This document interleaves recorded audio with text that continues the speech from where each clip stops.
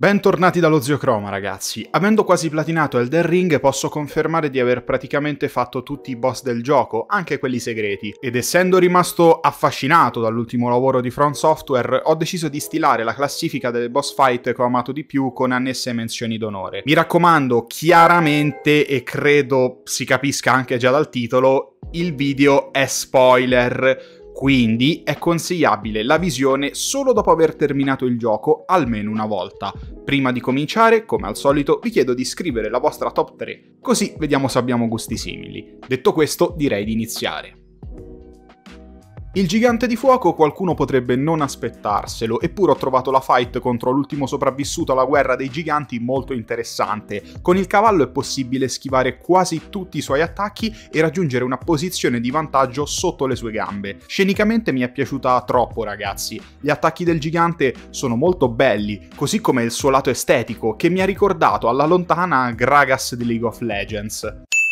Il comandante Niall è stato uno dei due che mi ha fatto incazzare di più di tutti, ma devo ammettere che riguardandola ora la boss fight è stata epica. Uccise le due coppie di cavalieri, uno con la doppia spada e l'altro con lo scudo, rimane questo apparente idiota con la sua arma. Troppo stiloso il suo moveset e gli attacchi elettrici che effettua con la gamba me l'hanno fatto innamorare. Godric l'innestato è il semidio che ha occupato il castello Gran Tempesta a Sepolcride. Esteticamente non mi fa impazzire, lo ammetto, lo scontro con questo bestione però mi ha messo un tono di epicità addosso che mi fomentavo nel combatterlo. Non so se qualcuno di voi mi può capire.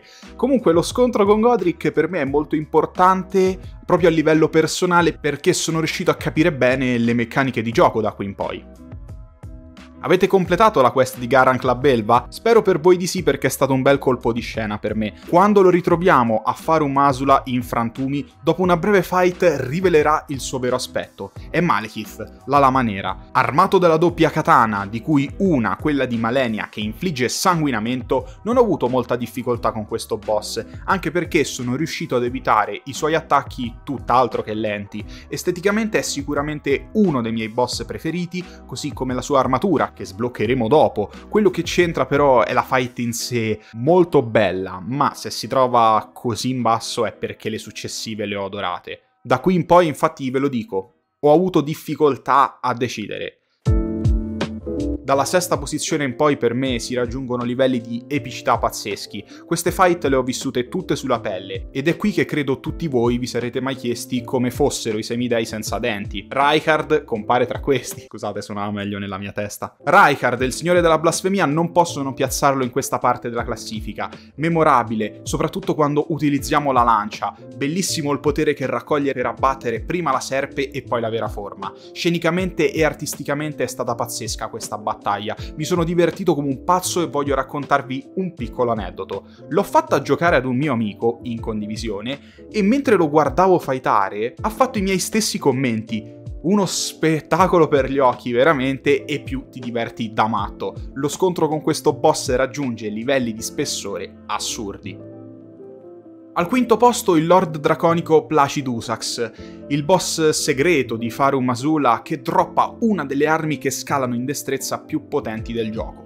È un drago a due teste duro da mandare giù se lo si affronta come me con la doppia katana, soprattutto perché poi fate questa fine qui e ve lo giuro ragazzi, ve lo giuro, sono andato vicino al bestemmione più forte della mia vita. Scherzi a parte, oltre a piacermi il boss e come è stata messa in scena la fight, il moveset, ho adorato il fatto che per sconfiggerlo bisogna essere bravi a rotolare e soprattutto bisogna utilizzare le magie, cosa che come vedete anche dalle mie statistiche sono ferme a livello 15. Infatti non usandone mezza credo che io abbia vissuto questa boss fight in modo veramente ostico. È facile capire quindi come me la sono giocata tutto il tempo, gli sono dovuto stare vicino e ho dovuto evitare il più possibile i suoi attacchi. Vi ricordate che cosa ho detto con il comandante O'Neill? Solo due boss mi hanno fatto incazzare tanto. Ecco, con Malenia sono andato vicino allo strapparmi la maglietta a morsi. Non posso comunque negare che la boss fight è stata costruita da Dio, sia la prima che la seconda fase. Mentre la combattevo ho rivisto quello che avrei voluto da un gioco del genere. Studio continuo del boss, provare a capirla, utilizzare diverse strategie e continuare con quella più efficace, migliorandomi ad ogni tentativo. L'ho abbattuta con la doppia Uchigatana, non avendo altre armi che potevo equipaggiare ed ho piazzato su una la cenere di guerra che aggiungeva danno da fuoco, mi sembra su quella della sinistra, sì, perché sull'altra, ovvero quella della mano destra, ho utilizzato il ghiaccio aggiunto con il grasso pazzesca comunque esteticamente, capisco perché sia stata usata come mascotte del gioco anche se è un boss facoltativo. La lore poi che la lega ad altri personaggi di gioco è fantastica, scritta veramente da manuale. Sul gradino più basso del podio abbiamo la fight con Radagon, la metà maschile di Marika. Posso dire che non l'ho trovata così difficile questa fight finale. Giuro che ho avuto molta più difficoltà con Malenia o addirittura con il comandante O'Neill, mentre qui mi sono divertito parecchio e, soprattutto, sono stato catturato dalla messa in scena del gioco. Elden Ring raggiunge un apice artistico in quest'ultima battaglia che mi ha lasciato con il fiato sospeso, non solo per Radagon, eh, anche per la seconda parte della boss fight con la belva dell'interregno. A parte che cavolo di cervello devono avere per partorire un abominio che ti fa dire eh, ma allo stesso tempo mamma mia quanto è figo. Comunque lo scontro è un concentrato di epicità che mi porterò sempre dentro. Sicuramente una delle boss fight finali migliori dei videogiochi.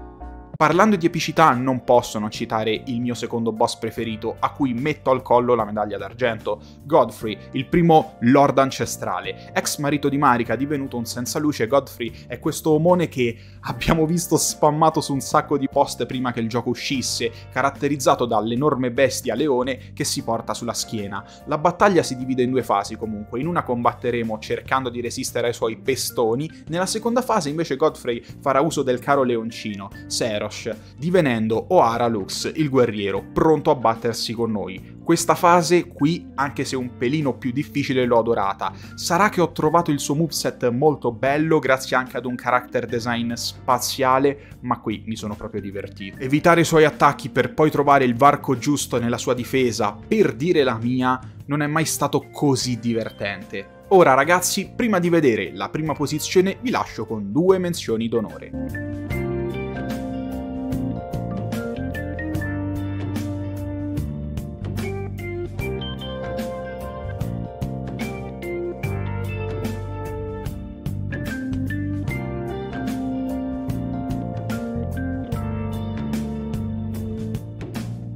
Vince questa classifica Radan. Il generale impazzito che si è battuto alla pari con Malenia la pugliese ha fatto sì che quando l'ho combattuto ho avuto i brividi. Non so spiegare il perché, non so dirvi come mai, Eppure nella corsa a cavallo per arrivare a battermi con lui, mentre evocavo i compagni come aiutanti, sono stato avvolto da quella che io definisco l'epicità in un videogioco. Impossibile non fomentarsi con quella host, poi. Vi dico che una volta raggiunto il boss, assieme ai compagni evocati, ho iniziato a schivare e a combattere con entusiasmo, non per vincere, ve lo giuro, ma per godermi ogni singolo istante di quello che è riuscito a diventare, per ogni aspetto, il mio boss preferito. Grazie per la vostra importantissima visualizzazione.